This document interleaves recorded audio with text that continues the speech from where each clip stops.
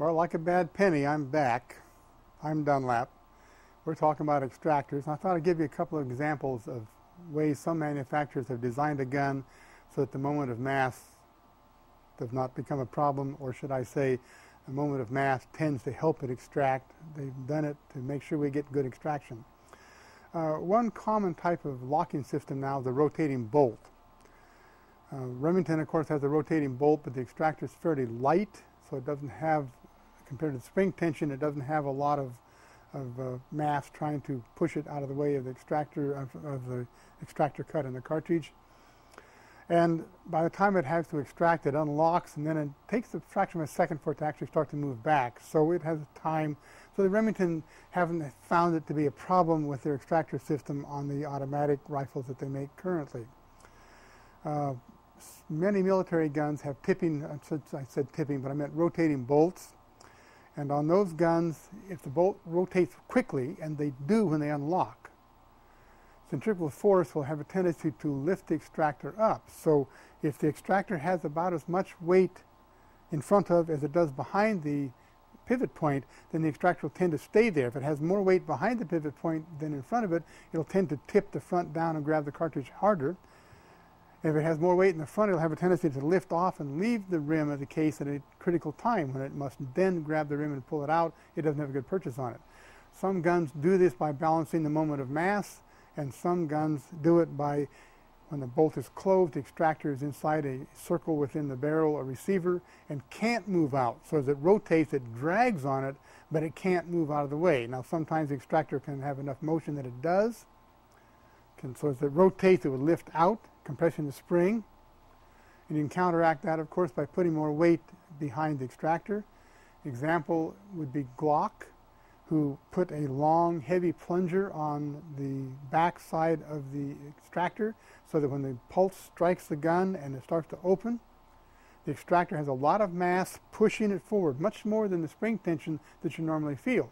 That's how Glock did it. Very clever. Uh, some rotating bolt systems uh, have the extractor, as I said, balanced. Others have it so that the head of the extractor goes into a slot or something, a notch, and rotates into place and can't move out. But some extractors don't fit right and they can move out. So in that case, you need to balance the extractor some way so that the head of the extractor, the hook of the extractor, can't move away during the opening pulse and then leave the rim. Another method is commonly used, and Heckler & Koch uses this method, but they're not the only one. Uh, the Chinese and Russians use it on some of their military guns, is they have a cam, an extractor to get it out, you pull it back and then lift it up and take it out. I have one drawn here. We'll take a look at it. The blue that you see is the bolt. The extractor rests in a hole in the bolt, comes forward, and this is the bolt face. So this is where the extractor, I'm sorry, this is where the cartridge case rim would be in this area. It's held in place by a spring. To take the extractor out, you pull it back and lift it out. When it snaps in, it's held in by this wedge or cam. Now, it can be on the side, it can be on the top, it depends on the design. But when the gun opens then, the bolt moves back very, very rapidly and shoves the extractor down against the cartridge case so it hangs on. So at the instant that it must grab hold of the cartridge and pull it out, the cartridge case and pull it out, it's being forced in against the rim. When it feeds around and snaps over, as most of them do, it hits here, pushes this back, and it allows it, when it moves back, it can move out, snaps over the rim, comes forward, and wedges here and holds tight.